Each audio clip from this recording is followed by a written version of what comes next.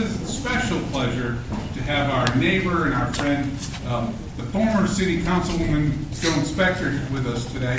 Uh, City Councilwoman uh, Specter has done a lot of things in public service and in entrepreneurship and in community involvement. She, um, her husband had the good luck of uh, finding her and marrying her, which propelled him into a reasonably productive career over his life. Uh, but those of us who, who know the Specters know them as a great team. It's a real pleasure uh, to, to host you.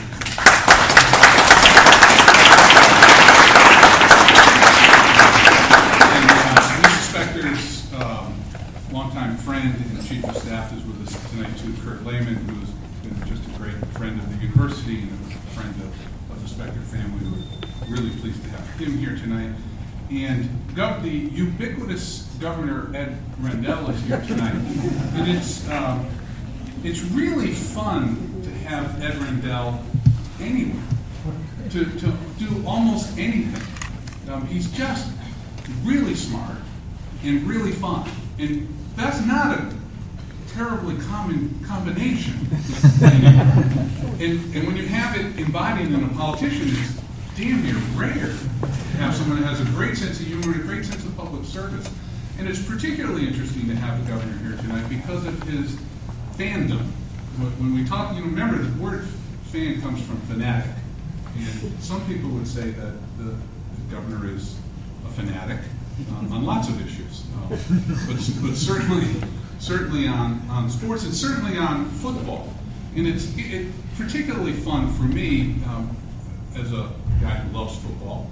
I voted on the thing, need more information, um, because I'm also an academic. We never can make decisions without more information. Um, the, the governor has a particular perspective that I think is really interesting, and I think he's done a better job of framing the subject than anyone else I've ever heard. He is a public policy person. He understands government, he understands public policy. He's a terrific football fan, and I would even suggest an expert uh, in football, and, and he's getting paid to talk about that, that- so there's some market validation of that expertise. But he has a particular view of athletics as a community involvement, a community binding agent that I think is really interesting because he talks about you Republicans and Democrats and independents and tall and short and black and white and female and male, and we find ways to, to distinguish ourselves in different categories and, and sometimes to pull ourselves apart. But in sports, we find a way to come together. It, it's fascinating to see the how fans combine in a way that says, you know, we're specially together to try to build something that we believe is important. That there's a pride and a civic um, uh, jubilance about being a fan. And you know, throwing. He tells a great story about throwing uh, the, the snowball, the famous snowball at Santa Claus. Uh, there is a rumor that he threw the snowball. that he might want to comment about that later. But it, but it really was uh, his, his feelings about being a fan and being a member of the community are an incredibly important articulation of the American culture and something that brings the American culture together. But he's not, uh, he's not, doesn't ignore the, the downsides of this. And the subject of trauma, and especially in football, is, is a bigger issue. Um, we have a, a wonderful um, alum of ours, Libby Nichols, who I always brag about. Um, I recruited her and I taught her all her courses here. that is why she had a, virtually a 4.0 average with a Fulbright scholar.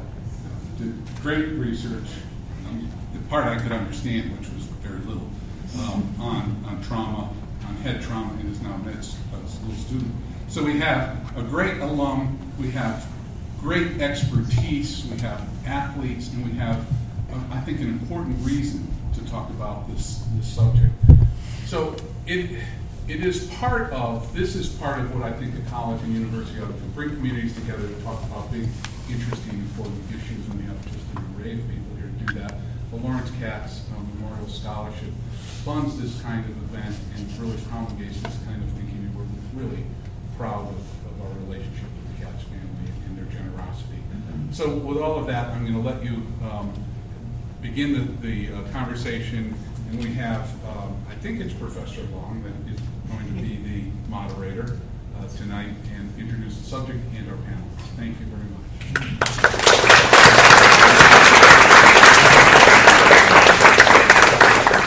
Thank you, Dr. Spinelli, and thank you everyone for joining us for the Katz Memorial Lecture on traumatic brain injuries and the ethics of being a sports fan. So, what are we talking about today? Chronic traumatic encephalopathy is the main topic here. It's a progressive degenerative disease of the brain. Scientists believe it can be caused by repeated head trauma, both big hits in football terms and repetitive non concussive hits. There's mounting evidence that certain sports, football, boxing, and soccer, put athletes of all ages at all levels of risk for debilitating brain injury.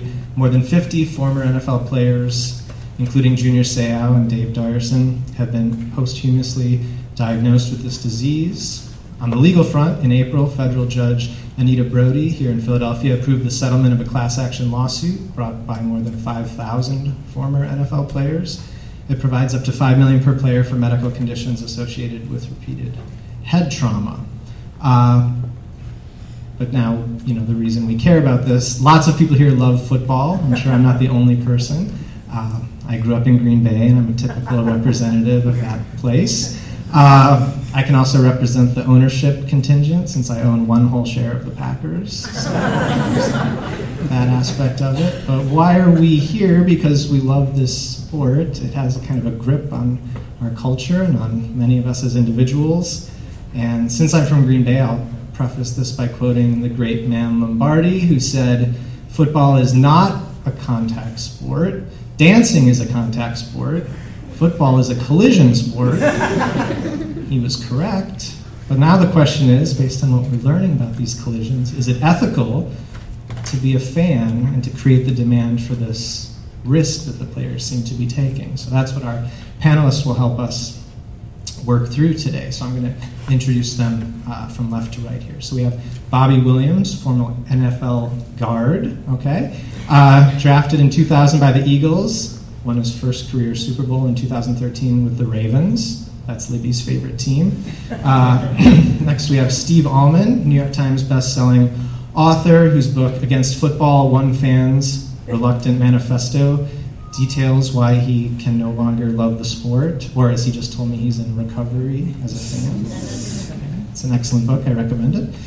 And Libby Nichols, 2014 Philadelphia University graduate and University of Maryland medical student uh, who studied the impact of headers in soccer, youth soccer, and was a Fulbright scholar in Munich.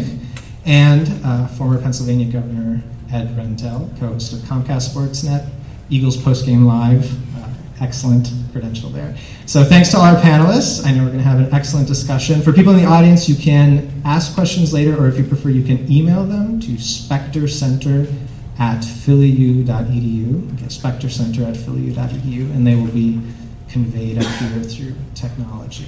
Okay, so my first question will be for Steve Almond. Uh, Baseball is still a symbol of this country, but I would say football is contemporary America itself. It's the thing itself. What made you a fan of this thing, and what perhaps ruined it for you? Well, yeah, I think football, uh, the game itself, so there are two things. There's football, the game, and then there's football, the sort of industrial complex. a lot of what um, talking about and against football really is the larger industrial complex around the game. But the game itself, I think, just for me personally, is utterly thrilling. Uh, as a form of entertainment, I think it's even as a writer, its narrative quality, its dramatics, its suspense, the swings and momentum, the way in which it combines the ecstasies of the body at play and a sense of extreme and sudden violence uh, are all things that resonate inside fans, no matter what we tell ourselves. Oh, I just like seeing the pass plays. Uh, it's a kind of murder ballet, uh, is what it is. In fact, John L. Sullivan, who was a famous boxing champion, years ago went to see a football game, and somebody said, You know, John L. Sullivan, what'd you think of football? And he said, There's murder in that game. He was a boxing champ. Um, I think as fans, the, the great trick of the NFL and college football, and maybe football in general, is that we're it's a kind of sanitized violence. Um, we don't think of it as extraordinarily violent because we don't play it, and because we don't see a lot of blood, and because the players are covered up in a uniform and in helmets. And, um, and anytime they get seriously injured, they're removed from our view, which is quite convenient to us morally. And I say that as a fan myself. I saw Darryl Stingley uh, get paralyzed when I was 11 years old. And my only thought as a devout fan of the Oakland Raiders, which should at least grant me some pity from you all, um, was, oh my God, they're going to, they're not going to be able to play the sport anymore because they can't play a sport where somebody gets paralyzed on TV. As an 11 year old, the moral calculus seemed quite simple, and I was not upset or worried about the player. I was upset about whether I was going to lose football. Well, that, that mindset continued really just until the point that my mother suffered a, a traumatic uh, injury to her brain. And then suddenly I had to encounter what actual cognitive decline was like. And the, the realization that when the brain goes, your sense of self goes. Your whole sense of who you are is gone. Um, and I think when I walked into that uh, hospital room in ICU uh, ward and saw my mom unable to uh, she didn't know what day it was. She didn't know where she was. She thought she was in the midst of a terrible dream. Suddenly, all the stories about Junior Seau and Dave Duerson and Mike Webster and Andre Waters, right, uh, suddenly got a lot more real. And the basic question that I was then faced with was is it ethically acceptable for me to consume as a form of entertainment a sport in which the expected outcome for up to 30% of the players is permanent brain damage. Um, and, and so for me, I answered the question, uh, I guess not. But the book is uh, an attempt to talk about the process of turning your back on something you really love.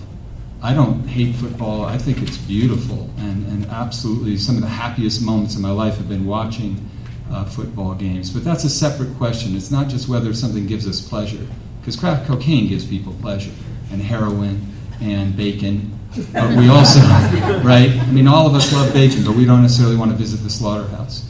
And in, in some sense, with football, we don't have to. We can enjoy it as spectacle, and we don't have to grapple with, uh, with, with the sport as a moral undertaking. So that's what, the, what my book's trying to do, and it's, it's really trying to get people to answer the question for themselves with all the, with all the information, um, which I don't think most fans have. Thank you. Uh, Libby, I'll ask you about your specific research later, but could you just introduce the basic concepts, the science behind uh, CTE studies, what it is, what we know, what we know we don't know, things like that? Thank yeah, you. Sure. Um, CTE is, stands for chronic encephalopathy, and basically it's a chronic neurodegenerative disorder where you have accumulations of a protein called tau when you have acceleration and deceleration forces to your brain and the trauma creates this protein that builds up over time. And a lot of times, um, football players will their first symptoms will be loss of judgment. And a lot of times, the protein, when they do postmortem studies, they find that the accumulation just invaded the brain tissue and caused the symptoms. Thank you. Uh, I'll, I'll, go Bobbie Williams and then Governor Rendell. Bobbie, Williams, uh, were you aware of the brain injury risk when you were playing in general? And what can you say just to introduce us to the culture of injury acceptance in an NFL locker room, which none of the rest of us have any firsthand account of? Um, well, um, to a certain degree, um, yes, I was aware, but not to not to the limit, and not and not the full spectrum. Um, you know, um, it's a little saying that you have to be a little off your rocker to play the game anyway, and um, you know you you do because um, you're you're literally um, putting your body in what can be measured as a car wreck for three and a half hours, um, 50 to 60, sometimes 70 snaps, and you have a guy my size 340 pounds going up against another one, and that force that we can generate, um, you know, can sometimes, you know, you know, cause certain things in the brain to happen. So, um, you know, um, yes, I understood the risk to a certain to a certain degree, and um, in the locker room, um, you know, guys, it's it's a certain added pressure that guys are under to um, to be out there on the field, and um, they'll do anything, um, and literally anything, and take anything, any type of um, pain medicine just to get through the day, let alone the game. Um, so um, you know, you you have to look at you know what is you know like what is causing guys to use this type of judgment. You know what is what is the purpose behind this, and it's um, it's throwing all factors to the side just to be out there on that field because for some um, it's an opportunity to um, take care of their families. For some, they just love the game, fans, the fanatics, and um, they're living out a dream that they had since they were a kid. And um, I think um, you know when you look at the whole totality of it, it's um, it can be disturbing to know that what you're putting your body through um, is definitely not worth the um, the reward as a monetary um, value. Because football is only for a short period, a short window, and when you leave the game, you still will have a lot of life to live. But guys are throwing away all of that for the hope, and not everybody gets the big dollar, but for the hope of a of a large, big contract. So. Thank you. Governor Rendell, you are also representing the fan perspective here. I was wondering if you could speak a little bit. What is it about football that captures your attention? Why, why football instead of other sports? And do you feel this tension? Is it hard for you to retain your fandom in light of what we are learning? Well, let me start by saying that um, in some ways this is a ridiculous discussion. We're in a country that allows smoking. Smoking is legal. Smoking kills thousands of times more people than contact from playing football. And smoking is legal in the United States of America. Why haven't we banned smoking, period? We've made it as difficult as possible, as inconvenient as possible. I have great empathy for smokers who are out there in 16 degree weather, but, but we haven't banned it. Why? The evidence is absolutely overwhelming. It is absolutely clear. There's no escaping. Uh, we should ban smoking if we're going to do the things that will protect people. If we want to give people, to use a football term, max protection, right, Bobbie? Max protection. Max protection will ban boxing, will ban smoking, will ban riding on a motorcycle, helmet or no helmet. You hit a tree 70 miles an hour on a motorcycle, and you could be wearing a, a steel-plated helmet, and you're dead. Let's ban motorcycle uh, uh, usage in, in the country. Let's ban all sorts of sports. Anybody here running the Broad Street Run or the half marathon or the Philly Marathon? Raise your hands. How many people die in marathons every year? Probably about 10 in the United States. 10, 10 in the United States, worldwide, probably 100. And not only do a lot of people die, but a lot of people have heart attacks. Very fit people. Fit people. Jim, Jim Fixx died running. Jack Kelly died running. Do we stop running marathons? Basketball. How many basketball players collapse on the court and die of heart attacks? Do we stop basketball? Of course not. What we as a, a society have to do is one, educate everyone who's participating in any activity about the level of risk. So they can make that decision for themselves. Bobbie, I'm interested to hear what you said because Mike and Mike, uh, the morning talk show on both ESPN television and ESPN radio, they had a player on who said he would give up 10 years of his life to be able to play and have a successful career in the NFL. He would sign a contract to live 10 less years to do that. Shocked me. Shocked me. But that was his choice. So, one, I think we need to educate maximum level of education to anybody who participates in virtually any activity in, in, in this country, but certainly in sports and certainly in football. And then two, we should, as a society, as a league, as a NCAA, we should put in as many protocols as we can that will, in fact, give protection. So, for example, the NFL now has a rule: no head-to-head contact. It's a good rule. It's a smart rule. You don't have to. When I was playing football, we were taught to tackle with our shoulders, and we were taught to hit the runner between the upper part of the chest and the and the uh, knees, and wrap up. Uh, we never had head-to-head contact. We never had headhunters. Uh, we have the defenseless rule. So there are rules that are put in place that help. Someone goes out with a concussion, they have to be seen by medical personnel on the field, and the medical personnel has to clear that person to go back in, not only to that game, but the medical personnel can keep the player out for a number of games. And I thought I heard the doctor say the medical personnel want to please the teams. Not so much. I mean, we had Nick Foles out for three or four games because of a concussion. We had Michael Vick out for three or three games as a con- concussion, things that hurt the Eagles' chances to win. So, so you build in as, as, as many protocols as you, as you can. You also use technology.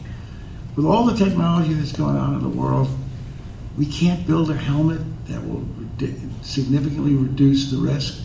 I know the doctor's shaking his head, and I know lots of people told me we can't. But, but you know, lots of people said, internet, it's a ridiculous idea. So I'm not sure that we can't do that. So I, I think we, we've got to do maximum protection. You know, I'd love to see not only the concussion rule on individual games, but I would like to see at the end of a season, and by the way, not just for pro players, for college players, at the end of the season, each player goes through an examination and to see if there's cumulative damage sufficiently that they should be disqualified from playing again, if there is. So I think our job is to educate, and our job is to regulate, and then our job is to let people decide whether they want to absorb that risk. Can I say a couple of things in response? Yes. So, one, I'm, I'm not a doctor at all, uh, but I did a lot of research for the book. And I want to make a, a really important distinction what makes uh, football and, and what we're talking about, the ethics of being a fan, very different from smoking. Smokers incur the risk of smoking. As a fan, all of the risk of your fandom is absorbed by Bobbie and his wife and their kids and people who you actually don't have to grapple with that much. It's important to understand that the question we're asking isn't aren't people allowed to do what they want and take risks? Of course, that's the American ethos. It's the question of is it ethically okay to sponsor the game? Because after all, the incentives in football are essentially winning and money. And those incentives come from us, the fans. That's how capitalism works. You are de facto a sponsor if you are a consumer. Um, it would be, you could immediately and overnight uh, lower the risks in football by doing a couple of very common sense things. And it's not creating a miracle helmet, because believe me, the NFL has $10 billion plus that they make every year. You don't think those guys want to come up with a helmet, a magical helmet? You can't. Keep trying. They, absolutely, Keep trying. They can, and, and Think of the things that we discovered because we kept trying. Here's the problem, Governor. It's not a it's not a concussion problem, and it's not even a violence problem. It's a physics and physiology problem. You cannot undo mass times acceleration equals force. You cannot make the brain something other than a soft organ that is encased inside a hard shell. And when players who are bigger and faster and stronger than they've ever been come up against one another, how many times in practice? A thousand times over the course of a season, there are a thousand small car accidents that happen inside that helmet that you never see. And that's why they're discovering that uh, this brain illness is pervasive. You can magically think that that's going to disappear, but it's not going to happen. But there are certain things that you could do. You could tomorrow put a weight limit on, play, on teams so that they play at their normal weights rather than this massive acceleration of weight gain you have to play at a certain uh, weight in order to compete. I mean, players in the modern era, right now in 2015, are 40, 50% heavier than they were even a decade and a half ago. That's the mass part of mass times acceleration. Players are bigger and faster, and therefore they're more lethal when they encounter one another. It's not a matter of head to head contact. They can tinker with the rules as much as they want. They're not going to undo the basic physics and physiology of the game. But they could put sensors inside the players' helmets that would measure how many G forces those players are absorbing, and at a certain point, if they were if their heads were being shaken around too much, they would have to take them like a pitch count in baseball. Why doesn't the NFL and college football want to do that? Because as an industry, the incentive is to stop you, the fan, from thinking about brain damage or the fact that those are human beings in those uniforms. If they get you thinking about that, then it interferes with the well oiled machine, economic machine that is NFL and, and college football. But I, I, to, to interrupt, I think that that's a short-sighted view because the thing that I fear as a football fan, I think there's a chance that 50 years from now we won't be playing football because parents are intervening to stop their kids from playing football, uh, even at the toddler level. If you made changes like that, if there were more protections built in, you might be able to persuade people to continue to allow their kids to, to play. But, but, but again, the ethics of the fan, you know how popular high school football is in parts of the country? And that's not because we're enabling, they don't make money from, from fans in high school football. So it's a diff- difficult question, but I think uh, the suggestion of sensors is great. If I was the NFL commissioner, I'd be for that in two seconds. Two seconds. but why isn't he? The, qu- the, the- Because he's short-sighted. and because there's an economic, huge little bit of economic dumbo. incentive. I have a question for Bobbie Williams. Uh, be- this is you weren't prepared for this, but it's not an ambush. I promise. So I learned upstairs you were from Texas originally. Yes. Is that where you played high school football? Yes. So high school players, tech, uh, high school football is slightly a big deal in Texas. Just a little bit. Okay, so Governor Rendell's point is those players are not paid, so this dynamic isn't happening there. But certainly, high school players in Texas get something, right? Social respect or adulation or playing in huge stadiums full of fanatics. Um, you know, you you sold you sold this dream, and that you know, hey, regardless of actually just being realistic, your intellectual level, your popularity level, all of these things right here kind of intertwine with football, and it's actually coaxed in by the parents, and that you know you're judged by how well you can play the game of football. So therefore, on Friday nights, your town normally shuts down. And um, you know, they said that um, if anybody wants to rob the town, do it on a Friday night because everybody, including the judge, is at the game.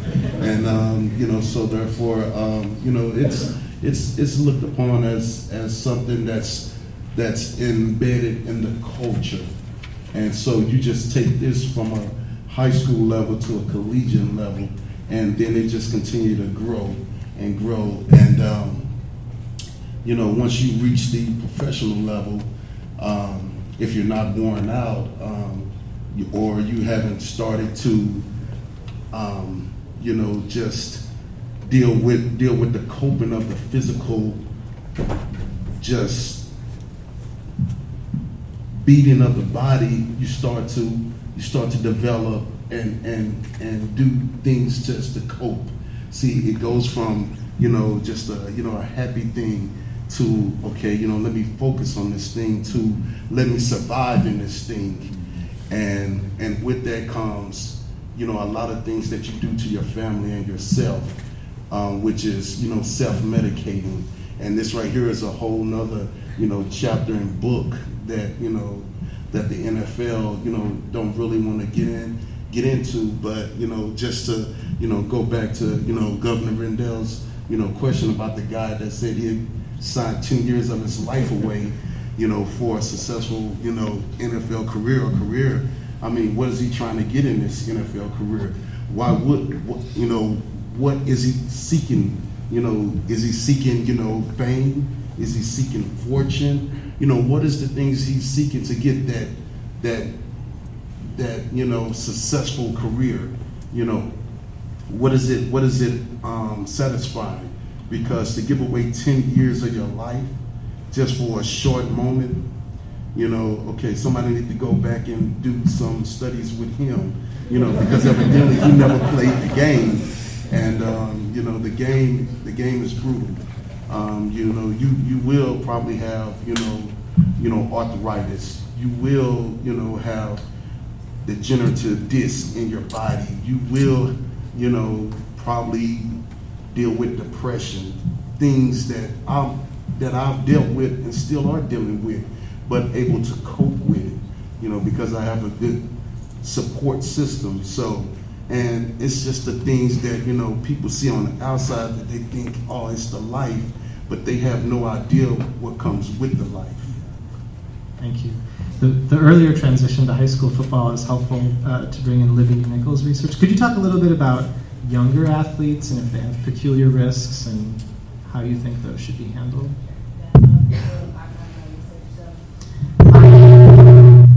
My mentor um, actually published a study in 2012 looking at professional male soccer players, and she looked at a cohort of subjects that had never been diagnosed with a concussion before, and she compared them to swimmers of the same age and gender, and she found that the soccer players, just from the inherently the sport of soccer, they had a decreased white matter integrity of their brain, which meant there was less axons in a certain part of their brain.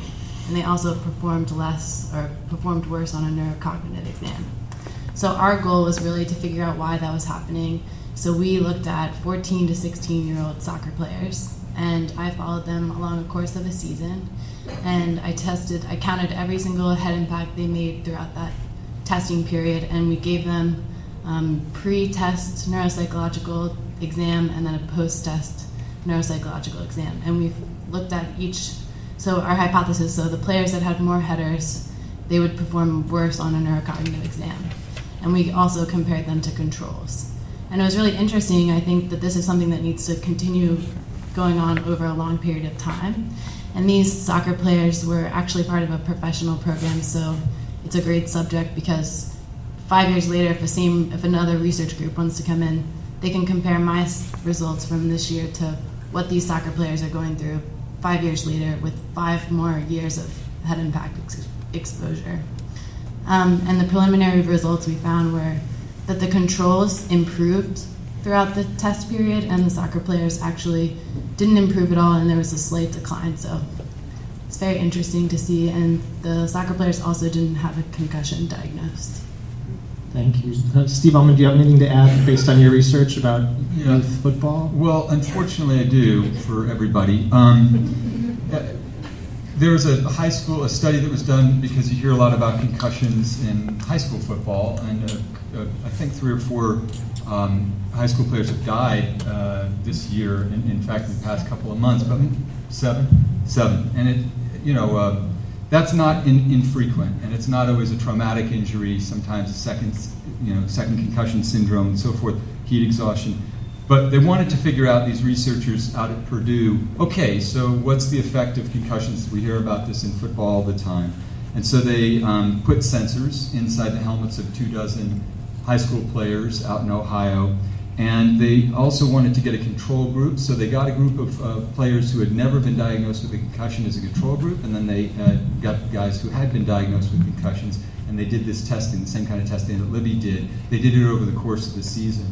What they discovered, um, to their shock and dismay, was that the cognitive function of the players with concussions uh, went down over the course of the season quite dramatically, and really terrifyingly, the control group who had never been diagnosed with a concussion showed diminished brain function to the point that by the end of the season, a couple of the players had no brain function in one of their frontal lobes. Now, you need to uh, stop and think for a second. These are high school students. The express purpose of the tax dollars, the public money that goes to high schools, is to increase brain function, in fact, you would think and hope. Um, and so, what the, one of the professors, uh, one of the scientists, the neuroscientists who did this study said is look, we have this stereotype of the dumb jock. But actually, what's happening with these subconcussive hits that are clearly causing uh, cognitive decline is that we might actually be creating that person.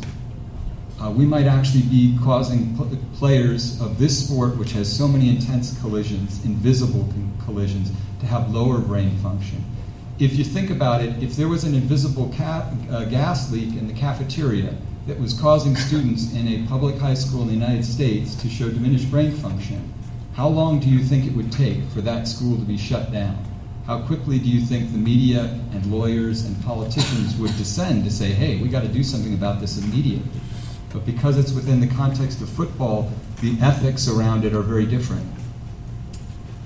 It's also just, I was an athlete, so this topic is not just should we ban it, should we not ban it, because there's so many good aspects of being an athlete, and even as a medical student, it's helped me beyond just playing sports. So it's it's a really tricky subject because yeah, people should keep playing football. It's a great culture, even though some parts of it are um, too much, but the a lot of the football players I've met, it's really family oriented. They get a lot of their values from the sport, so it's a trickier topic than just shunning it down.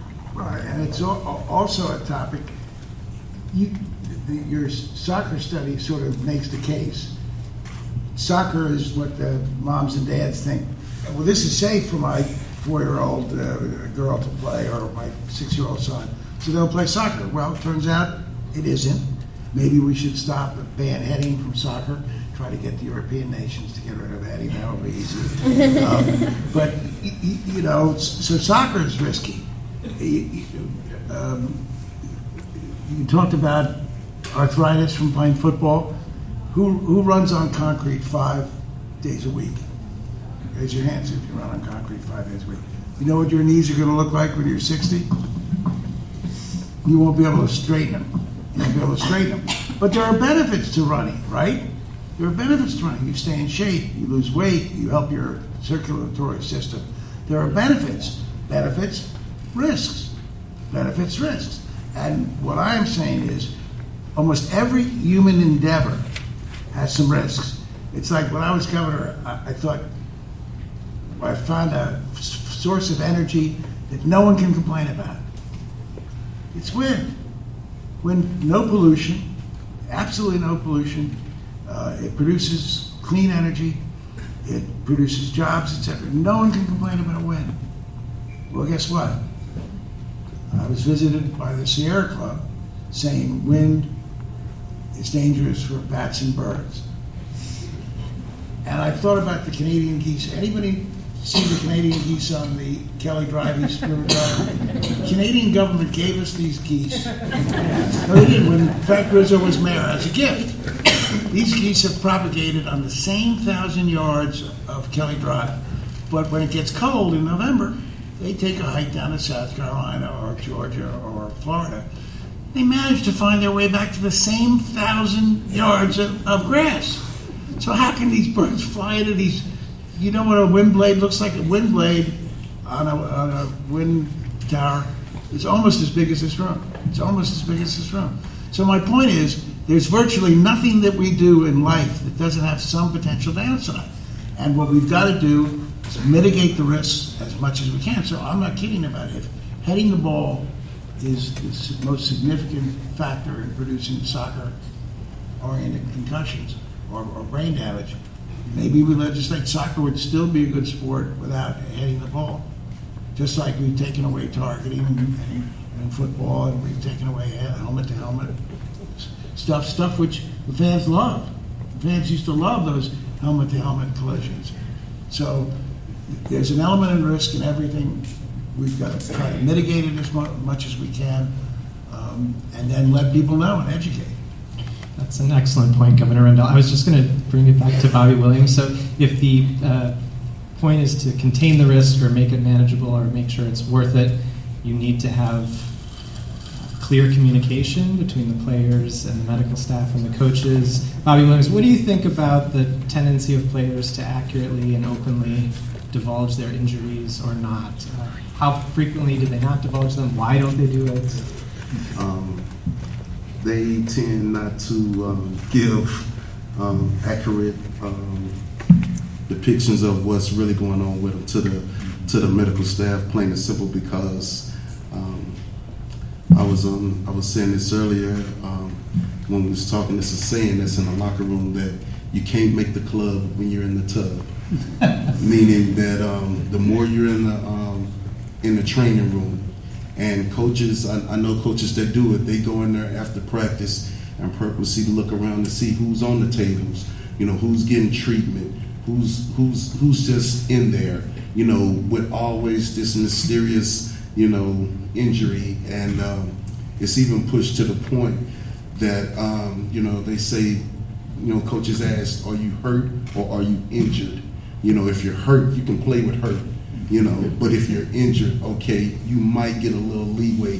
But I've seen guys that have been injured say, you know what, I'll, I'll take that Toradol shot plus the pill plus some Advil, and I'll get back out there. You know, just you know, just because the pressure is on. And you know, I say these things, and the game of football has treated me very, very fair. And um, you know, I wouldn't trade it for nothing. Um, if given the opportunity back in my youth, you know, knowing what I know now, would I still play the game? I certainly would, because I look at the I look at the benefits of it, but I would do things a lot smarter. But um, it is certainly, certainly, um, uh, I would say, divulging certain information to trainers who just don't do it because it goes straight to the um, head coach. It goes straight to the owners of the team. And then the older you get while you're still on that team, they're looking at, okay, well, you know what? He's always hurt. Look like he missed a step. You know what? It's good enough reason to get rid of him. So, but if you never, if you're never hurt, or you report that you're hurt, they say he's durable. We can count on him. And you know what? You just tend to suck it up. Even out there on the field, you know, um, I've sustained, you know, blows to, you know, you see the little Tweety birds, but you know, I lean over and I, you know, and I've told the quarterback, I say, look here, don't call a run play, call a pass play, and let me gather my bearings. And I tell the guy next to me, hey, watch out for me. And you know, he called, he, he'll call a pass play because I know I could just grab the guy and just hold him, you know, while I get my bearings. But then, you know, the next play, I'm like, okay, I'm good now, so let's let's keep it going. And uh, but it's that type of pressure that's on the guys to perform, to um, and do it at a high level. And you do not want to become a liability of any sorts. You always want to prove that you're an asset to the organization. Thank you. Steve Almond, I had the sense you wanted to reply to what Well, Governor Rendell's earlier point. Just um, to, I think what Bobbie said is so important to, to realize in terms of the ethical math that players are doing. You know, we think we see the top 1% of the top 1% of the top 1% are the guys who are earning, you know, $5 million a year. But in fact, uh, you know, it's one in 500 college players who's going to be in the pros. Their average length of time they spend there is three and a half years, and much of that is injured. And unlike the rest of us in terms of job security, they're one play, one snap, one chop block away from their career, their livelihood, their earning power in the world, and their sense of identity being gone. So I think that's something to, to realize that we don't think about that as fans. The other thing to realize is that, um, you know, ethically, for a long time, the NFL did not want to admit that there was a relationship between the, the sport and uh, Tweety birds. Uh, brain trauma is what that is, actually. Um, for understandable reasons. Paul Tagliabue in 1989 said, oh, it's a media creation. It's just the media creating this thing. And then they went about doing essentially what the tobacco industry did, which is they, they created a bunch of junk science. The Mild Traumatic Brain Injury Committee, because mild trauma is, makes a lot of sense. Uh, you know, that, that uh, committee was charged essentially with compiling junk science that would try to contradict what has become the medical consensus, which is that an extraordinarily violent game that is built around collisions, shakes around the brain, and causes uh, CTE. The NFL, after years of first denying and then uh, obfuscating and then creating junk science, in that lawsuit that you hear about sometimes, that lawsuit is about fraud and deceptive practices. It's not just about negligence. The players, the former players, 5,000 of them, are accusing the NFL of actually covering up what the, the risks were to those players' brains and to their lives. Okay, so the NFL, the big story that you guys might not have read about yes, uh, last year in the midst of Ray Rice and Adrian Peterson and those scandals was that the NFL's actuaries in federal court filed papers estimating that up to 30% of retired players would suffer long term cognitive ailments. I know of no other, that means brain damage. That's their polite legal way of saying brain damage. I do not know of another industry in the United States where we would say that that is acceptable for 30% of the people in that workplace to suffer brain damage eventually. There might be one, but I think if it were in another context and it wasn't a sport that we loved so much and that was so meaningful to us, which I'm not arguing with, I think it was something else, we would probably say that's too great a risk. We would not say to coal miners, oh, 30% chance of black lung, get back in the mine. You know, 30% chance of getting cancer from asbestos, get back in that building. We don't say that because, you know, we don't consider those industries or what we derive from them to be as important to us emotionally, psychologically, and even spiritually as what we get from sport. And that, I'm not saying you should think one thing or another, but you should know that it's the NFL's own estimates, after years of denying that there was any link between the sport and brain damage, is that up to 30% of former players are going to wind up with brain damage. Governor Rendell, I'd like to go back to your earlier point about the unavoidability of risk and, and managing it. You mentioned the possibility of improved technology or equipment. Aside from that, do you think there are steps, even if just incremental, that could be taken to change the rules or the techniques to make the game safer? I know you've written about connections between football and rugby. Uh, football and And rugby? Right. Well, rugby, in rugby, there is no head-to-head collisions. The Rugby players are trained, and I think it even is in the protocols or the rules, to, they tackle, and they tackle without pads. It's amazing. But they tackle, again, just as we were taught when I was a kid, they tackle from the top of the shoulders down to the, the knees. And they don't, they're not allowed to, to go for the head. But rugby still has a concussion problem because rugby players have incidental contact to head, but also fall on the ground a lot at high speed, right? Mm-hmm. Yes. So rugby is better than football, but still has a growing con- concussion problem. Hockey, football, rugby, top three. Right, hockey, football, rugby.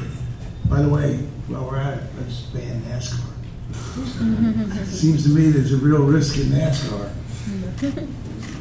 I you, you- you won't die 30 years down the road. You'll die. Bingo. Uh, I'd like to ask a similar question to Bobbie Williams. What, your career was fantastic and very long, so you saw if there were changes, you had an opportunity to see them.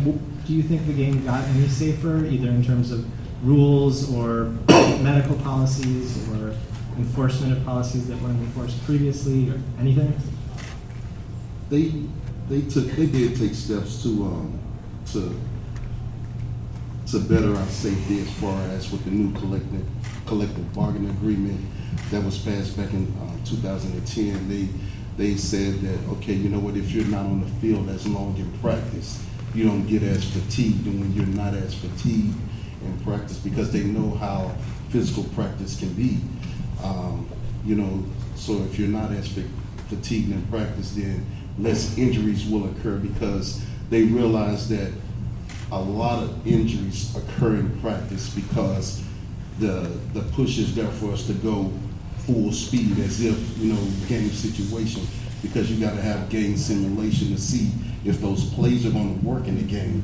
So so what people don't realize is that practice is the hardest part of our week. Sundays are not even Sundays are not even that hard. When you get out there on Sunday, it's kind of like a relief because you know you say, okay, I can beat up somebody else, you know, and, and this guy don't really know me, but you're you know you're going you know all out in practice against guys that, that you go against every day, so they know you. So then you got to double your intensity to to just you know formulate this play and get it to work. So when they go back and look at it um, after practice, and they can say, "Oh, it worked. It worked here, so it should work on. It should work in the game on Sunday." But what you don't realize is that the the pounding that we're taking during the week, you know, our body already, you know, depleted and you know aching. So therefore, come Sunday, it's like, you know, you think Sundays are tough, but Sundays are actually, you know, a reliever. And you know, we kind of like look forward to Sundays. That's why you know some guys are happy, you know, out there. You know, they're like, you know, finally I get to hit somebody else besides my own guy, and you know what, take this punishment out on them because really you're not really allowed to really take it out on your own man, but sometimes it happens. You know, grown man. I think that Brody, the case that Judge Brody decided, uh, really was a watershed because it gave the NFL a, a financial incentive to make changes. And it, Bobbie, tell me if I'm wrong, but the CBA says that there's much less uh, practice in pads. In summer camp, there's much less practice in pads, or two a days are Correct. restricted. Correct. So they've taken steps. But I would love to see the, I love the sensor idea. And the NFL might not like it, but I love the sensor idea. I'd like to see that legislated in both at college level and at the, uh, pro level. If there, that technology exists, we should know it. We should absolutely know it. But, but they are serious. I mean, when you look at uh, uh, the Eagles, uh, have have had a number of people sit out games because of concussion. DeMeco Ryans, the heart of our defense, uh, sat out uh, a game and a half because of concussions. Uh, and, and they are, I think, policing it uh, a lot more fairly, and I think the medical personnel are acting independently of the, of, of the teams. Uh, because the NFL, which does everything based on financial motives, now has a financial motive. That $750 million settlement was a message.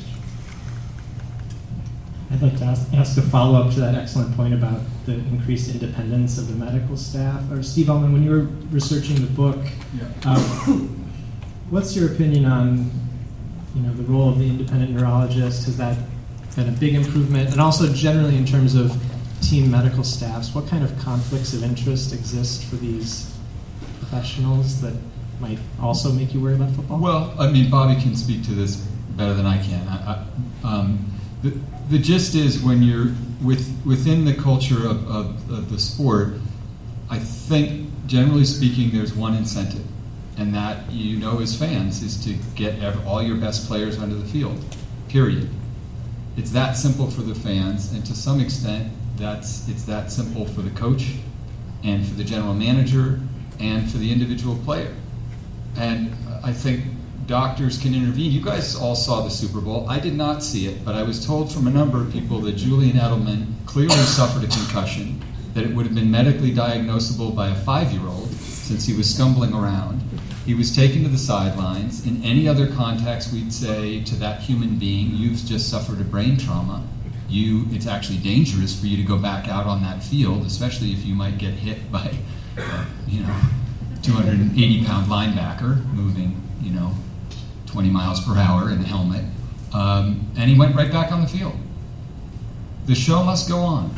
And we are the ones who enforce that. Governor Rendell is absolutely right that sensors would um, automatically change the way the incentives for the game, and so would weight limits, and so would enforcing a GPA on high school and college players. Those would change the incentives, the math that the coaches have to do and that the players have to do. But those things are only going to happen when the fans who are actually in charge of the athletic industrial complex and the football industrial complex decide that they want those incentives enforced. Roger Goodell doesn't care if you feel guilty or if you would like things to be safer in football. What he cares about is that you're a paying customer who pays his $44 million salary and keeps the industry at $10 billion a year.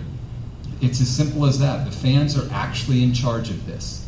If you do not like what you see or you have problems with it, then it is ultimately incumbent upon the fans to demand a different set of incentives. But, but I'm con- confused. I, I mean, you, you used the Edelman case as an example, but routinely, you, you watch NFL games, and Bobbie, you correct me if I'm wrong, players are removed from the games for concussions and don't come back. Absolutely. I mean, we lost the heart of our defense at, at midway through the second quarter of a game that we, we lost uh, to, to, to Washington. He didn't play the rest of the, the, the game, and that had a significant effect on the outcome of the game. So somebody's, uh, and don't they have to? Isn't it in the CBA that they have to be independent medical personnel? You don't get paid by the team. Yes, that's correct. So who screwed up in the Edelman case? You tell, I mean, I don't know. I, I wasn't in the middle of that. I didn't even see the game. But I guess the point I would make is absolutely the NFL's trying their hardest to figure out how are we going to minimize. They don't want their players to suffer brain damage for business reasons and for personal moral reasons, right? They're, they're employees. I don't think I'd stick with the first. Well, okay.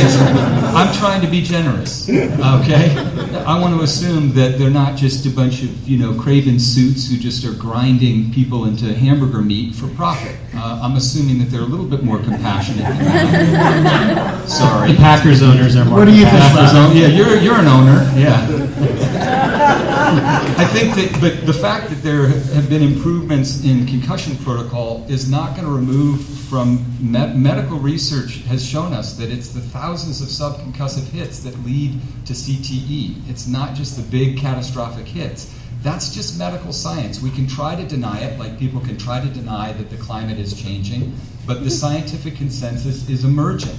And we as fans will either face that ethically or we'll turn away from it the people who are in charge of the football industrial complex would like us to turn away from it because that would be better for business. for the short run. But I think if we keep going down the road we're going down, we won't have football 50 years from now.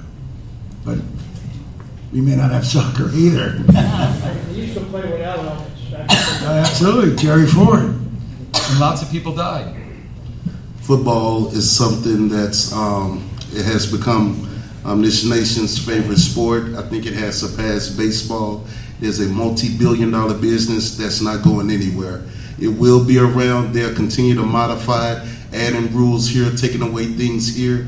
It might even get to the point in 50 years, Governor, that is uh, one step above flag football. Right. But they, they will still be playing it because they have an agenda um, that that by the year 2020 they was wanting to be making at least 20 billion dollars a year, 27 billion dollars a year. So they have already spent the money and did the um, projecting this. So um, regardless of what has been said and what has been done, they'll continue to throw um, little monies over here to say they're benefiting the um, research department and for these players. But um, when it comes down to it, they're not going anywhere. They're too vested in it, and um, it's too many people that desire t- to be there. So this is something that's going to continue to to come about. They continue to throw money into the research board, but they're not going anywhere no time soon.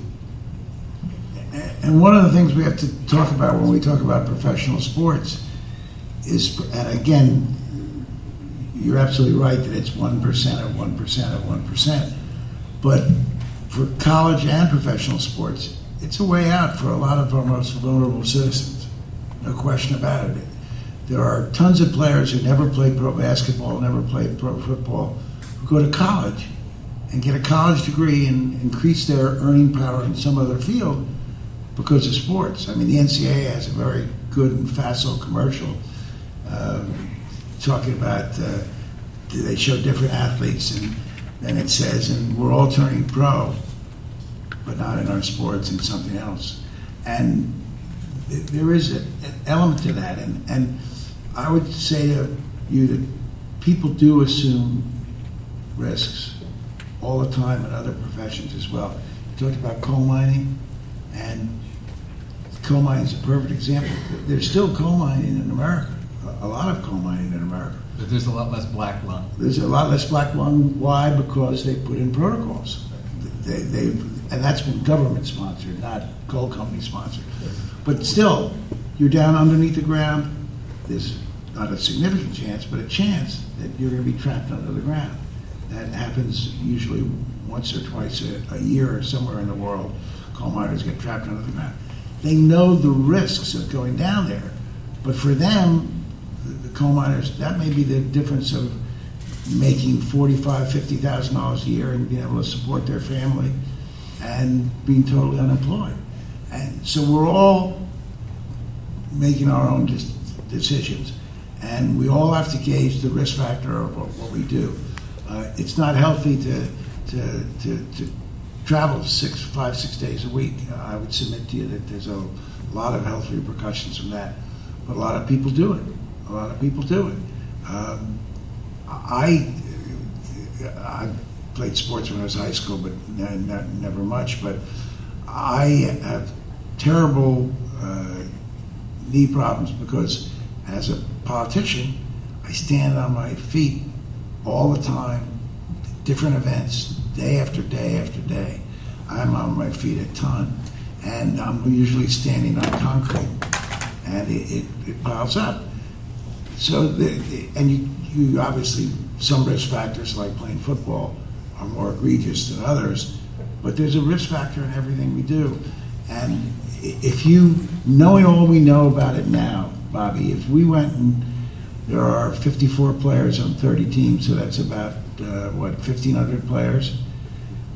If you polled the 1,500 players and said, you, you know the risks, if you knew the risks that you know today, would you have played pro football? How many would say yes? Well, I just answered it and said that I would. I would do it again. And What do you think out of 1,500? Um, I would say probably um, 1,499. Right. Chris Borland retired last year, so you have. But I, I just want to say one more time, Governor, because I know you're a, a smart guy. That's not the question that we're here to talk about. The, the risk is absorbed by players. They're grown men, they can make that decision. The question is do we as fans consider it ethical? Because we incur none of the risk. Okay? We, we actually are not at risk by sitting on our couch having chicken wings. Um, the, the, the other thing. Probably are. Well, maybe the chicken wings are arrested. The, the one other thing I want to say that will be especially unpopular, I suspect, is that in among the suitcase of rationalizations that I carried around for why it was okay to watch football, one of the central ones that I unpacked after the NFL will find a magic helmet and it's the players who incur the risk and they're grown men. The, the next one was it's a way out for certain kids. And when I really unpacked that, what I realized was that we are consenting to a cultural arrangement in which we say to those certain kids, and it's coded language, of course, what we mean is poor kids and kids from economically vulnerable neighborhoods, and oftentimes kids of color. What we're actually saying is, hey, if you're really good at this super violent game, we'll give you a chance to get an education and become really good as a football player. And if you get a college degree as a byproduct of that, terrific, wonderful. But what we really want you to do is be ready to show up on game day so we can watch you play this form of entertainment. Let's not let's not delude ourselves. The way that you empower those kids is not giving one out of uh, 10,000 of them a golden lottery ticket to become an NFL player. The way you empower them is by investing in economically deprived neighborhoods, by providing economic opportunity, child care for working parents or guardians, good schools, good law enforcement. That's how you actually provide opportunity and value people for their intellectual development and for their moral character, not just for how hard, fast they can run and how hard they can hit. But, but, but Governor we all, we for all last agree with that. and then we'll switch to the Q and A. We all agree with that, but But Governor, the- no, we all agree with that. But you're a 12 year old kid and you live in Watts. And should we have had that kid go through pre-K edu- education as a three-year-old and a four-year-old, full-day kindergarten as a five-year-old, small class sizes, first, second, and third grade, after-school tutoring if they fall behind? Of course we should. And I fought most of my career for those things. But for that 12-year-old kid in Watts, it's not a reality. And he can't wait, and he can't do much to persuade us as a society. How many of you vote for well, I don't want to get political. How many of you vote for people who won't raise taxes? Well, they were, how many of you don't want your taxes raised? And as long as we don't raise taxes, we're not going to have full day kindergarten. We're not going to have pre K for three and four year olds, things that could change the dynamic. So for that 12 year old kid in Watts, he deals with the reality. And there are thousands, and I'm not just talking about football, I'm talking about soccer and basketball and baseball and all the college sports they give kids a significant number of kids, not as many as we should, but a way out. And I, I don't think we should stop it. We should educate them what the risks are. We should try to legislate. And I think the government has been absolutely negligent in not stepping in in many of these cases. Where it stepped in in coal mines, it hasn't stepped in in sports. And I think sports has got a handoff, sort of a hands-off relationship with politicians. Shouldn't exist. And I think where there's danger, we should be legislating as much as we should on coal mines. And we have improved coal miners' lots, there's no question about it. And we've improved a lot of dangerous professions, lots of those folks. And we should be doing that. But for the time being, I, I just think it's education and mitigation. Those who educate people who are going to uh, go into those sports, mitigate the risks as much as we can. We can revisit that topic and any of the others during the Q&A. Uh, so we're going to collect a second round of Poll Anywhere data. Maybe minds have changed or have not changed on the basis of this discussion so far. So if you could please use your phone to reply. And then we'll start to solicit questions, so don't be bashful. Professor Lane will uh, bring you a microphone if you want to raise your hand. Anybody have a question they want to bring up right now? Okay. You can come, you can come to the. Yeah, I'm voting. Hold on, I'm, I'm gonna vote first. What are you voting? Uh, you know, when it's, uh, so I, I'm, uh, I'm just curious. I'm a, uh, what you call a human subjects researcher, so I'm a psychologist, and I conduct research on human beings, other human beings. And I'm, I'm kind of interested in, in, in framing this ethics because we have kind of gone back and forth this entire time between is it is is what the NFL is doing with the players ethical versus is us watching it ethical. And I don't I don't know that those two things are different, and I don't know if we need to be um, held responsible for the ethical decision uh, that the NFL might be making. I'll give you an example. So um, we teach our students in research methods that, uh, for example, there's a number of really horrible, unethical research uh, studies that were conducted in the early 20th century. I won't go on about them, but where we essentially abused or exploited research participants because we did not inform them of the risk, and that's why we have informed consent, uh, so on and so forth. So informed consent in an experiment, uh, you say, okay, you're going to be in this experiment, such such is going to happen to you. There might be a risk. Goes, you know, you go on with the experiment. Afterwards, there's a debriefing, and so you say, hey, here was the risks, and you know, if it's something emotional, here's the therapist. Blah blah blah. So, my question is, um, that would be then uh, at the level the risk is passed on to uh, the person participating in the experiment. I, as the experimenter, am in charge of whether there has been a breach of ethics, whether I've not informed people well enough. But then the people who profit from my experimentation, which is the general public and people of consumers of knowledge, um, they just assume that I'm doing my dil- due diligence, and I, I can't be thinking that they should be the ones that should think uh, or be worried about my ethics so long as there's ethical protocols there. So I just wonder if you guys wanted to talk about that sort of balance of ethical decision making power, whether it's an NFL issue, whether it's our issue, whether it's both. Well, I'll just say real quickly, I, I think the analogy is interesting, but your desire as a researcher is to compile data. The NFL's desire as a business is, as a corporation, they've got a cash register where you might have a conscience or a curiosity. And I'm not saying that to make a judgment, that's just how it works. That's why I think it's probably damaging that we consider corporations to be people, because they're not. They're financial entities whose motive isn't to come up with good research and to therefore have good ethical standards, it's to make a lot of money. Uh, and so, so the motives are different. But just to speak to the question of, well, am I really, as a fan, am I really responsible? Do I have an ethical responsibility? There's been a big shift in the way fandom works in this country. In 1948, in Philadelphia, Philadelphia Eagles were the most popular team in, in football. And th- uh, the way it worked was that 90% of their revenue came from fans who turned out for games, and 3% of their revenue came from what we could call passive consumption, sitting on the couch watching the game, or radio and TV rights. In the last 30 or 40 years, because Pete Rozelle and other folks with the NFL and college football were very smart in realizing it was a perfect game to be consumed by television, uh, that has really shifted. The primary form of consumption of football is just how I watch, just sitting on my couch watching the game, not buying any gear, but just you know tuning in every week. Um, and that's now the vast majority of the revenue that the NFL and the NCAA brings in. And that means that, and this is kind of bad news again, I'm the guy who gives you all the bad news. That means that just being a passive consumer really does make you de facto a sponsor. Think about it this way if nobody was a fan of the NFL, it wouldn't be worth anything. We sit there in American culture and say, well, what are you going to do about reality TV? Oh, it's so terrible. And then we sneak off and watch it. There's a reason it's popular.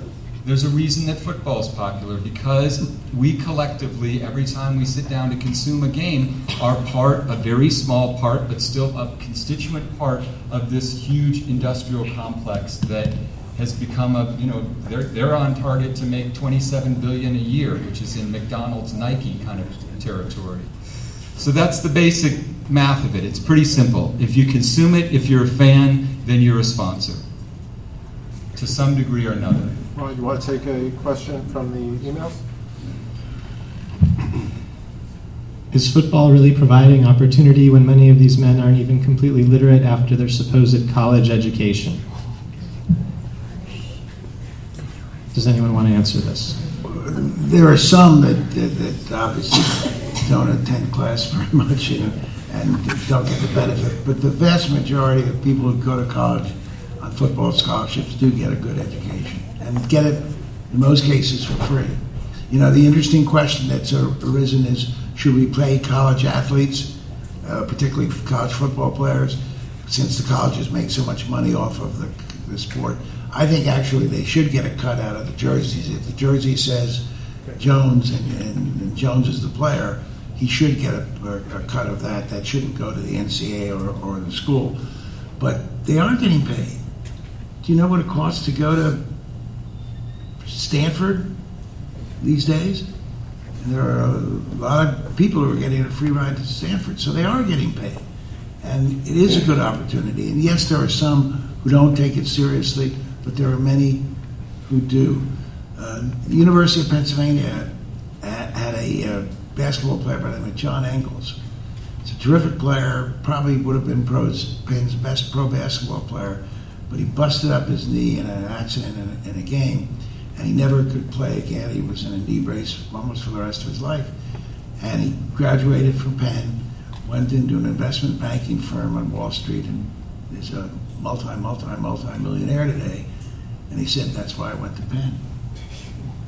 Because education does matter, and a lot of these young men and, and young women in sports do benefit from the opportunity to get a college education. There are abuses for sure.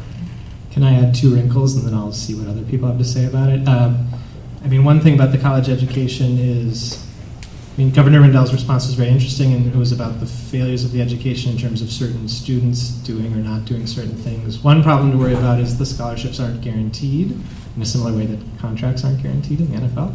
Uh, and also the mismanagement of some universities, including North Carolina's flagship university, which had a basically industrial scale fraud factory going on. Right. Uh, but for every North Carolina administrators writing papers for players. For every North Carolina, there are 50 colleges and schools that get it right. But you made a very interesting. That's point. not true. That's just simply not true. Well, you look at the graduation rates. The majority of people who play football and basketball graduate. Yeah. The majority. But you made a very good point about. Uh, you were talking about uh, protocols guaranteed contracts or yeah, yeah. the NFL should guaranteed. we should have guaranteed every dollar should be guaranteed in the NFL. It is in baseball. no, no, it is in baseball. So if a baseball player gets injured and he's got a five-year contract at ten million dollars a year and he can never pitch again, he gets paid. Same thing should be in, in, in operation for the NFL. That's something we should we, we should do. And um, I was a part of the. Um, um, I was a captain, so I was part when we did the collective bargaining agreement back in 2000 uh, in 2010 in NFL. Um, one of my main things that I tried to push was um, lifetime health benefits. Mm-hmm. Um, that that was shot down. That was even shot down by the NFLPA. Um, the executive, which is supposed to be for the guys, but he he automatically shot that down before even taking it to the owners. So I was, you know, I'm thinking like, okay, well, this new collective bargaining agreement is for like the next 10 years. Well, how about health care for the next 10 years when you leave the NFL? Because right now it's only four years. You're only you're only guaranteed health care for four years, and once those four years are up, then you're you're on your own. But here you're playing and helping generate billions of dollars, and and even doing the math, even if they said, okay, each player, even if they don't give them lifetime, which I think they should, but even gave them 10 years, that would still be a minute drop in the bucket for an organization that's that's pumping out billions Absolutely. of dollars. And the weakness of the NFL right now is the commissioner used to be, the commissioner in the major sports, pro sports, used to be a neutral. He was the person who bridged the gap between the players and their interests and the owners and their interests. Now in the NFL, it's been this way, and it's true in other sports, but not quite as true. The commissioner is just a, the lackey of the owners, absolute lackey of the owners, and he doesn't look out for the players at all. And we've had some great commissioners in the past in a lot of sports who cared very much about the players. Brian, we have a student question over here. Oh, good. Hello. So I just wanted to backtrack a little bit. Um, I know that you said, and I think this is very realistic, that fans have a lot of power within their hands, but I don't see it happening that fans are just going to stop watching football because that's what has made it such a big industry to begin with. Is there any other suggestions that you have that fans or just people in general can contribute to improve the ethics of the sport? Because people aren't going to stop watching football. They're not going to stop doing that. I don't think so. like, what other suggestions do you They're have? not? I don't know. like, what other Yeah. suggestions do you have that we could do other than stop giving our money? That's like, or watching the game. Well, um, one of the things that's interesting is um, you, you sometimes have to think kind of long term, and, and we live in a moment where it just seems like, well, this is just how things are. That moment a, a century earlier, uh, the biggest sport, the most popular sport in uh, America was boxing, in fact. Couldn't even fit all the fans who wanted to watch a championship fight into a single stadium. And then, because the violence in that sport was so overt, and you could see uh, the blood and the viscera, and two men half naked, mostly naked, trying to knock each other senseless because you could see it, it wasn't hidden from your view, a number of fans said, I'm not okay with consuming that. That doesn't feel okay to me. And so there was a certain kind of moral progress that the country made, if you consider it moral progress. And so boxing didn't disappear, but it became a less mainstream sport and a less profitable sport. Um, and there are other reasons why boxing diminished, but one of the central ones was that people had a moral awakening or an ethical awakening and decided that they weren't okay. They didn't consent to the arrangement of consuming that much violence. What we have right now is a disjunction between people's understanding of how violent and dangerous football is and our pleasure, the pleasure we take in it as fans. And who knows?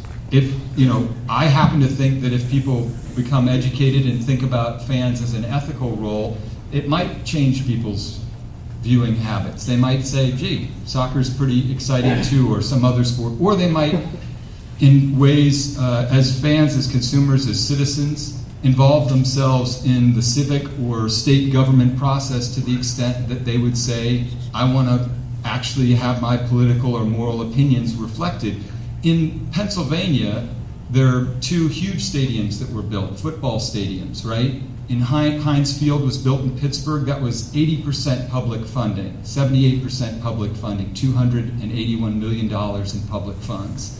And, he, and Linc Field here was 256 million, almost a little bit more than a quarter of a billion dollars. You have a role in that. You're a member of the public of this community, and if you don't feel that you want that money allocated to build a big stadium, then you can say, I actually want that money allocated for schools and early education. It's not as if you are you're, you're a citizen. That means there's a certain moral duty that you have to try to see your values enacted in the world. I I agree that I would hope we, so. we should try to get the government to step in on a number of things. But boy, I I don't know where you've been, but boxing, when there's a pay-per-view boxing match, it makes money that's absolutely un- ungodly and unheard of. And what's the fastest growing sport in America right now? WW, what's it called? We're MMA. Much more brutal than boxing. Much more brutal than boxing. So I don't think we're making those judgments. But again, I think the key is to, to talk to your government about getting some common sense regulations. If we could do it for coal miners, we could do it for athletes. Do we have another student question, Professor Lane? I'm actually a physical therapist and I specialize in neurology and with brain injuries. So my question is, I think that it's important to think about the eti- ethics of being a fan. However, aren't we a little bit the cart before the horse here? The research out there is changing. Every month there's new papers coming out. You know, the Boston University group, got group that's doing the CTE that said 87 out of 91 Right. um, for everyone else, 87 out of 91 brains that they tested posthumanly came up with CTE. Okay, that's an impressive number. However, it was all people who thought they had a brain injury who submitted themselves to the study. And that study never um, submitted itself to a peer reviewed journal or any kind of critical appraisal of their study. So we have a lot of information out there. However, the science, as you said, is emerging. So my question is it's important to look at the ethics. However, we don't have the science to back up these ethical questions. So at what point do you say, no, it's definitive, we have to stop being a fan? Instead, can we say the fan needs to put money into science, needs to figure out really what's going on because we don't know right now? Libby, could you take the first stab at that, and then I'll let Stephen one talk? Yeah, I kind of disagree a little bit with you, what you're saying with the science papers. There's been tons and tons of papers. Even starting in the 80s, there were papers coming out that uh, before imaging became um, the mainline thing that we used for research, a lot of people used neuropsychological testing, and that came up positive. And then we used this much more sophisticated technique of looking at white matter tracks in the brain. And there were tons of papers that both agreed. And a lot of them were published in Journal of American um, Medical Association. So I don't know. I guess, well, in the white matter tracks, the CTE that's present is the same, you find the exact same thing in dementia in patients that didn't have concussions, that didn't Right. have brain injuries. Right, that's you cannot distinguish between a dem- patient who's demented and a patient who had multiple concussions. That's why. Yeah, that's why it's scary because It is, yeah, sorry. It is and, scary. Yeah, and you can even But if you look at the microscopic histological slides of a normal brain slice versus someone that's diagnosed with CTE, it literally looks like the proteins just degraded, completely degraded the brain. So I don't really think that it's. I think this is a, this is definitely We definitely need to know more about the pathophysiology and how to diagnose it in a person that's living um, instead of posthumously. But um, I think that it's pretty pretty diagnostic that this is what's happening to these people. The research is heading in one direction. The research is not heading in the direction of, well, maybe it's not as bad. It's actually like climate change. The more they find out, the worse it seems. Ask yourself whether the NFL would admit in federal court that 30% of their players are, are going to get long term cognitive illness if they didn't have to. Okay? The, the, there's no crazy conspiracy of neurologists who are trying to gin up numbers. They're just following actually what seems to be this clear trend that i- huge human beings smashing into one another thousands of times is shaking around their brains, and that is creating uh, these tau protein buildups. And the, research is, is it, it's definitely emergent, but it all seems to be on the same trajectory unless it's an NFL sponsored study from 1987. Although I think your point is that we should continue to invest in research, and we should, but I don't think anybody would contend, even just with uh, the eye test, that that concussions and brain injuries happen from, from football. But for example, I found it fascinating to talk about the soccer study. I mean, that's that's really a shocking. Again, all these soccer moms are putting their kids into soccer thinking it's 100% safe. Uh, not so fast. But the science should continue clearly. One, one more student question? Yes, please. Hello? What would you say to those who believe that the that our reluctance of society to deal with uh, these issues in the NFL are have to do with the racism, the inherent racism in the structures of the game? Um, one more time. One more time. What would you say to those who believe that our reluctance as a society to deal with these issues in the NFL, have, who say that that has to do with the inherent racism in the structures of the game? Um, I think I think that um, um, that's that's a. Mm. I'm trying. I'm trying to be politically correct here, but no. Um, seriously, um, I think that it all starts at the top. It all starts at the top, and um, it's a trickle effect. So therefore, um, what you see is just a byproduct of what's been handed down, and um, and really and truly, guys that are down here at this level that you see on TV, they're really working with the they're working with and in the parameters of what has been given them. So therefore, um, it's all controlled, but um, please. Yeah, well, well, I would say actually it's, it's, it's, it's from the bottom up as well. Yeah. So, for instance, um, I spent a lot of time in Miami when I was a reporter, and one of the things I did was just spent a, a couple of years doing a long investigative story about the James Scott Homes, which is housing development in Liberty City. And I remember this specifically because there was a NFL receiver who uh, came back and was a coach for those kids uh, and was like a very a heroic figure, gave of his time and so forth. What was interesting was that um, the community there, the African American community there, was deeply invested in the idea that one of their kids or some of their kids might make the pros. That was a big dream, and everybody was deeply invested in that. But I would say that it was partly the result of structural institutional racism that that was viewed as the path out for those certain kids. That is the result of larger cultural decisions that we make that there are certain lives that are worth having an opportunity if they can entertain us, basically. And It's not enough just for a kid to have an intellect that might de- be developed, or might become a scientist, or might become a this or that. It's that within certain precincts of the country, uh, there is, in terms of socioeconomics and race, I think, a lack of opportunity that causes football to be the only path, or the perceived only path. That's actually the result of, of our culture's larger um, both racial legacy and just class legacy. That's decisions that we all consent to and participate in, frankly. Yeah, I was going to piggyback that and say not not so well. Race does play a part, but it's class. It's certain. It's it's a certain level of class that you know when you are in an impoverished community and and you come from where you might be first generation that's that's going to college and you're doing that on an athletic scholarship.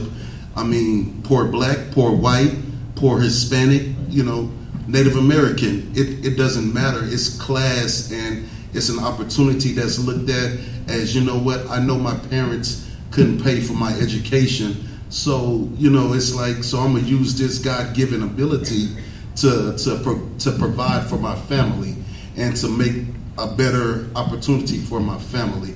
So, therefore, I mean, it's, you know, but you know, you're doing this once again um, based upon what has been dangled in front of you from from what's from what's above. You know, they're dangling dollars, and those dollars are going up each year. It's mandatory.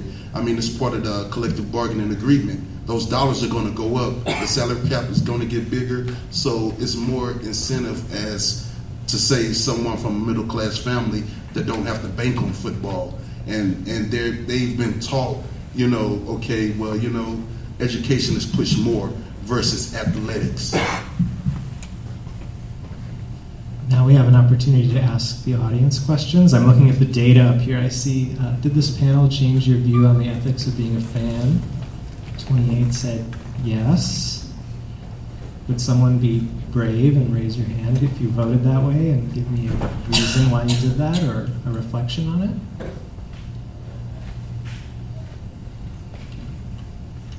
Yes, please. I was one of the people that at the beginning said need more information, so just being able to hear the different perspectives from each side. Uh, Not fully, but make a more informed decision about uh, whether or not it's ethical. So you're going to stop watching? No? Be more informed viewer. Be a more informed viewer. Any other explanations for voting that way? Yes, please.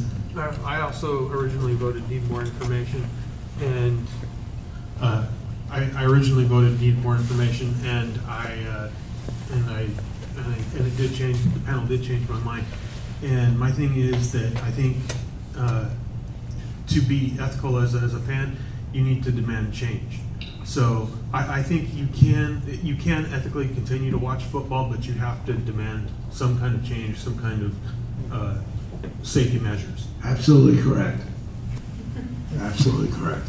And do you share Governor Rendell's optimism that something can be done, or Steve Almond's pessimism that eventually you'll have to quit watching?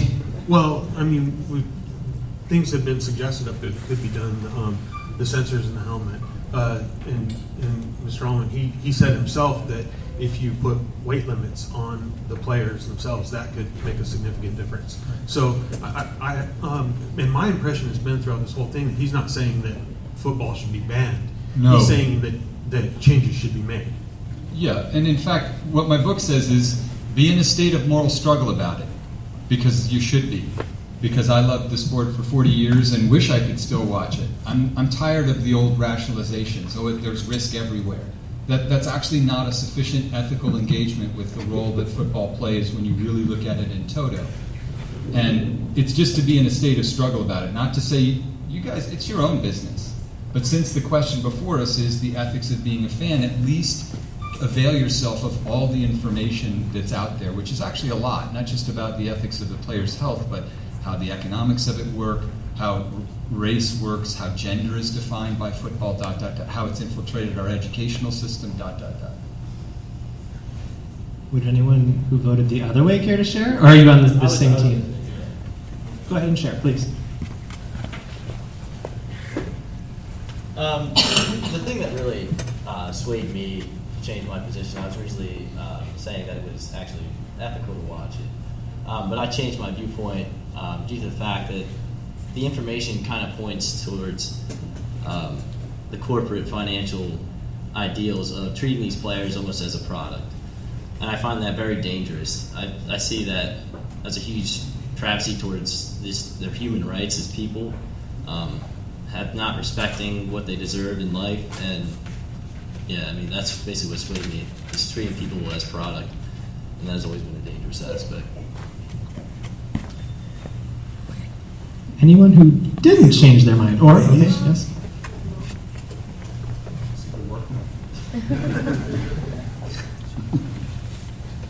I think I'm generally on the same side as everyone that it definitely changed my mind. And I think the big point that it changed my mind was owning the responsibility as a viewer, especially when you said um, that we're necessarily not people who are dumb play sports, but we're kind of creating this dumb jock ideal of people.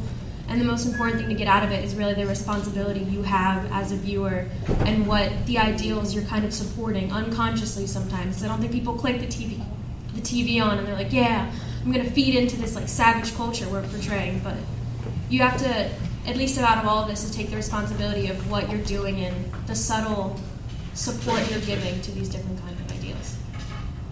Thank you.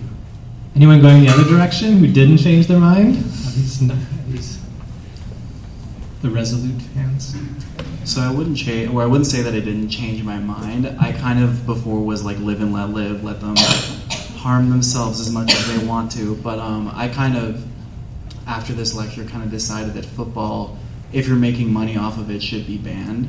And I know everyone's probably going to collectively boo me, but um, the reason I think that is because everyone's talking about the benefits of it.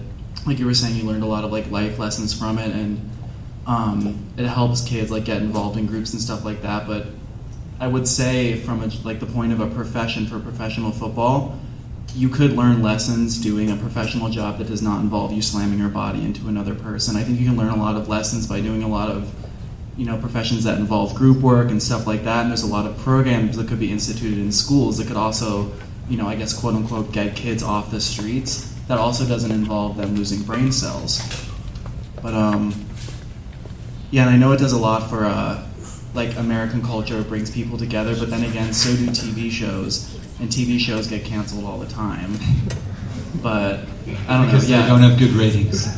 Yeah, well, I mean, they do have good ratings. Like, I think of Breaking Bad. Like, I think that show should go on forever, but consequently ended because the plot ended. But um, there's just a lot of things that people think should last forever, but they don't realize the harm that they do. And there's a lot of benefits and ways that American culture and people can be collectively united. But they think like football is the only option because it's what they were raised with. And I think the solution to that is maybe not raising your kids, teaching them like things like this are okay, and maybe it'll stop. But I guess there's kind of a breaking in generation that will have Do to you, suffer the burden. do you of think that. boxing should be banned? I mean, I'm personally not a big sports fan, so I'd say yes. But um, Let's go further. How about NASCAR? also don't like NASCAR. But um, yeah, I, mean, I think because How a lot of people, WW? What's it called? you know, I think a lot of people would say that if there's danger involved in anything, you should block it. But like, people use that uh, allegory of like driving cars. And I think that it also has a lot to do with the purpose of what you're doing. Like when you're driving a car, your intent isn't to hit another person. But with football, your intent is to smack into you another person as hard as you can, try to. But we're talking about risk. Well, yeah, I know. Driving a car at 250 miles an hour around a oval. Well, I'm saying a lot NASCAR should be banned. I'm talking about dealing with Bobbie. Yeah, but I'm talking about like driving in general. But like, because you're you're not trying to hit another person with your car, but in football you are deliberately trying to cause damage. Can I? Professor Paracon. Then Raju. Um, I, I work in athletics, and uh, I was late to this because I was evaluating a cross country athlete for a concussion. Okay, so I think that we have a severe issue with uh, a sedentary population, and when we start taking away more outlets, whether it's for those who you know don't go home and, and beat up their younger brother because they're they're you know out there on the soccer field or the football field. If you go right down the street, you're going to see uh, 35 football players, right, who now have a chance to go to a private edu- uh, private school that they may not have had, and I think that's really important. And I think that we should look at you know and look to towards more research towards finding out what actually is going on. But I think that to, to be an alarmist and to capitalize on the, the concussion culture is is that's unethical right there. That's just my two cents. Sure. And, and I, I- you, you, got, you want to sell books? I would love to make a lot of money on this concussion crisis, but I don't. Well, Because- I think you're mistaking how much money I make, but okay. I, I apologize. And, and, and let me also say, those 35 guys who got a scholarship, those scholarships could go to students who are really good students, who are uh-huh. interested in pursuing higher education for any number of reasons. And also, since I, I appreciate your passion, let me just respond. Absolutely. Uh, and, and also, there's a lot, I couldn't agree with you more about the sedentary culture. That's why fans sitting there watching a game is, is, is, is sort of double jeopardy. Of course, people need to be out and active. But as the gentleman who just spoke said, you know, football is, as Bobbie will tell you, unless you play it, you don't understand how profoundly violent it is. There's lots of ways that people can get exercise and should get exercise, that people can build a team ethics and camaraderie and teamwork and cooperation and perseverance. Those lessons can be taught on the athletic field, they can be taught by a pastor or a spiritual leader, they can be taught by a good teacher, they can be taught by a book. And this idea that we need football, we don't need it. We just like it a lot because it gets us it gives us gratification for a whole set of reasons. But the byproduct of that is not going away. There is an ethical problem, I believe, with consuming any sport, but especially a sport where you know that about a third of the players at the pro level are going to wind up with brain damage. There's lots of ways for people to get exercise and for all those virtues that you're talking about to be expressed by the culture. As as a football veteran, uh, a while ago at a low low level, um, and also a healthcare practitioner as I am now, I can kind of see both ends of the spectrum. And I will tell you, I can guarantee that you're going to have just as many concussions or, or mild traumatic brain injuries or, or brain injuries, however you want to, to give them the moniker, in, in soccer, in a lacrosse. Lacrosse has Plenty It's of actually it. not true. It's Okay. just not true. You, you It don't isn't do, I do this for a actually living. The data is just out there. The, the, the incidents, the incidence data right now, the incidence data in sports shows that that the women's soccer has the highest incidence No, of concussion. that's untrue, and Oh, it's- I'd love to see the data. That's true. It's 27. Hold on. Hey, uh, but your, Hold your on. person, Libby, has Speak a, up. has a point. Speak up, Libby. I Can't hear you. Can't hear- we can't. Sorry. When women soccer players obtain the highest amount of concussions, but football players, it's not really, it's misleading to say that football has the same amount of concussions as soccer because that's also not true. Football, football, it, the football has the highest incidence of concussions and traumatic brain injury, but if you're looking at a subset of um, cohorts, females are most susceptible and vulnerable to concussions. That's also true. So the question is, it's a question of de- de- degree. So if 30% of the players who play football for a long time get significant brain injuries, that's obviously bad. And we should be doing everything we can to mitigate that as, uh, by everywhere we can. But if it's 11% in soccer or 18% in women's soccer, isn't that bad also? Is the difference between 30 and 11 dispositive? It's a difference between a concussion and brain damage. It's a real big distinction. Somebody suffering concussion doesn't mean that they have permanent brain damage. I, I'm trying to underline this point because I think there are a lot of misleading numbers out there. When you suffer a concussion, that doesn't mean you have brain damage. When you have CTE, that means that you have brain damage. That But, but you have CTE is a correlation right now. Okay. We know Right. that there's causation from E. CTE. And look at Libby's We'll study. move on to one other Move on to question. the next question. Professor Perical, uh, Libby's study. you were waiting? No? We have, we have one last question because we have to, people actually have flights to get out of here, so I'm gonna. And we have I know food we- and refreshments. And we have food, and I'm hungry, so I'm gonna give Tim, well, Uh, uh, thank you all for your comments. It was it was quite informative, and I was really seeking to answer um, the question earlier about how this changed my opinion and whatnot. And what I would say is, you all presented, especially you, Mr. Almond, presented some unique moral con- quandaries, if you will, because it seems even like um, you were saying too, Libby, like the, the the research is clearly going in a direction, and so now we have to make a decision as to what we're going to do with the information that we have and we could talk about making informed decisions and, and, mitigating risk and things like that, but I'm incredulous to the idea that the NFL is actually concerned with the physical well-being of their players. I'm sorry, Mr. Williams, I just don't believe it. Uh, if, if, they did, we wouldn't have Thursday football games.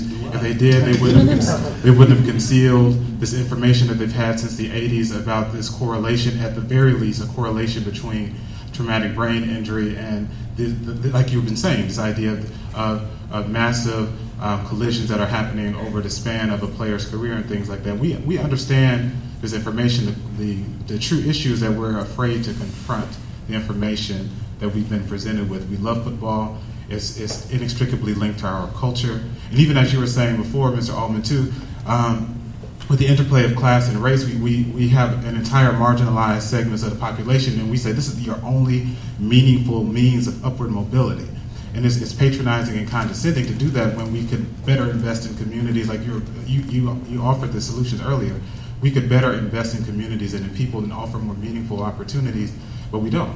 And, and then we throw out these, these carrots in front of these few people. And Richard Sherman's been commenting on this, this idea about yes, he went to Stanford, and yes, he's proud of his education, but he also was wondering where his next meal was going to come from when he was in school. And he also wasn't able to get the full benefits of his education because he was at practice, almost like a full time employee every day. And then he couldn't go to the, then he couldn't even buy his own jersey from the bookstore, and he's expected to figure out how he's supposed to eat.